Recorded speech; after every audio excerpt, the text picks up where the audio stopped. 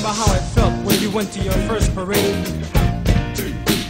and how you saw that glorious marching band coming down the street.